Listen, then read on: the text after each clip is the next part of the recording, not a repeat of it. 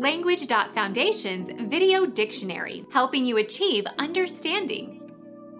The spreading of a disease, especially cancer, to another part of the body.